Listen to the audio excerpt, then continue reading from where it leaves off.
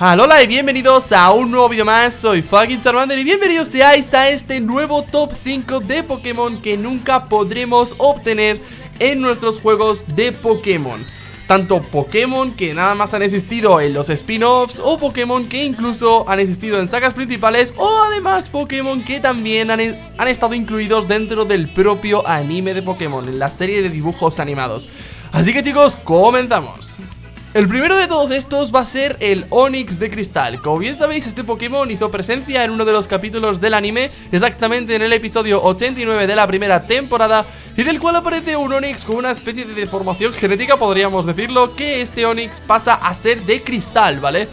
Es decir, no es un Onix de tipo, roca, sino que sería un Onix de, de, tipo hielo. Y este Onix simplemente hace presencia en este capítulo y no se vuelve a hacer mención a él Ni ha aparecido en ningún juego de Pokémon a día de hoy.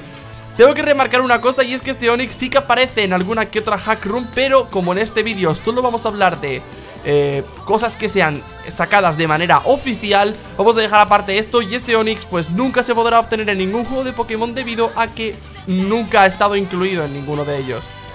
El siguiente Pokémon del cual vamos a hablar va a ser el Shadow Mewtwo. Este Pokémon apareció en un juego bastante reciente de Wii U, el Pokémon Tournament. Como bien sabéis, este juego salió, me parece que el año pasado más o menos sobre el mes de marzo. Y este juego es un juego a lo Tekken Pero con los personajes de Pokémon. Es decir, con todos los Pokémon que existen Pues podríamos luchar en entablar batallas Pero de manera más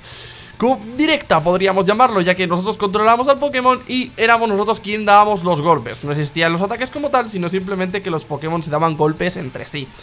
Este Pokémon que os digo, el Shadow Mewtwo, es el antagonista de este juego, ya que tiene un modo historia y este es el que provoca muchos de los problemas dentro de esta propia historia, que aparte de ser pobre, pues bueno, tenemos este personaje que es un antagonista bastante, bastante curioso. Este Shadow Mewtwo también tiene una mega evolución, que es el Shadow Mewtwo X, Quiere decir que tiene un diseño muy muy increíble y esos cristales que desprenden de su cuerpo son los cristales en teoría de la mega evolución o de la sinergia que explican dentro del propio juego. Y como bien os digo, este Pokémon tampoco es obtenible en ningún juego de saga principal, spin-off ni nada por el estilo, ya que solo existe en el Pokémon Tournament. Del siguiente Pokémon que vamos a hablar, y este estoy seguro de que muchos de vosotros lo conocéis, es Lugia. Pero, Charmy, Lugia es un Pokémon que ya conocemos Sí, pero creedme que Lugia del Pokémon XD, el famoso Shadow Lugia no lo conocemos tanto como conocemos al Lugia normal. Este Pokémon aparece, como bien os digo, en el Pokémon XD Un Pokémon que salió para las consolas de Nintendo GameCube Y que se quedó simplemente en esas consolas Y trató de un spin-off Es decir, que no tiene ni gimnasios ni nada por el estilo Sino que la historia es muchísimo más adulta y totalmente distinta Y ronda alrededor de los Pokémon oscuros el Pokémon más importante de esta saga es el, el Oscuro, ya que tenemos que luchar contra él en la última etapa del juego y no solo luchar contra él, sino que lo tendremos que capturar para posteriormente purificarlo. Como bien os digo, este Pokémon sí que podemos obtenerlo en el spin-off, pero nunca podremos obtenerlo en la saga principal, ya que la única manera de transferirlo a las ediciones las cuales eran compatibles con el Pokémon XD, que eran el Pokémon Rubí, Zafiro, Rojo Fuego, Verde Hoja y Esmeralda, era purificando a este Lugia y, y posteriormente transfiriéndolo gracias al Cable Link, pero nunca podíamos transferirlo siendo este Pokémon totalmente oscuro, es decir, sin haberle hecho la purificación.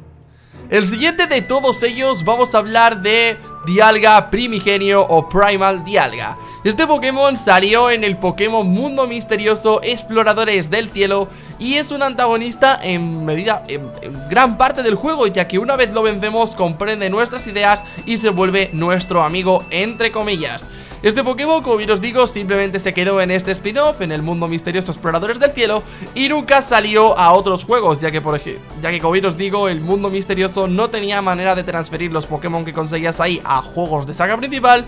por lo que, como bien os digo, mmm, el Dialga Primigenio se mantuvo en esta saga y nunca salió de ahí, por lo que el Dialga Primigenio sería otro de los Pokémon que nunca se han podido obtener y podría decirse que tiene algo de semejanza con el Kyogre Primigenio y Groudon Primigenio que pudimos encontrar en las ediciones de Pokémon Rubio Omega y Zafiro Alpha. Y el último de los Pokémon que quería presentar en este top y yo creo que de los más interesantes es la fusión de Zapdos, Aticuno y Moltres, los tres pájaros legendarios de la región de Kanto. Y diréis, Army, ¿dónde demonios sale esa aberración? Pues lo digo muy fácil, en el manga de Pokémon, estamos hablando de manga, de, de cómics, para que me entendáis Digamos que sale este, este Pokémon en el tomo 33 Sale en el episodio Leyendas Aladas Sale una fusión de Moltres, Zapdos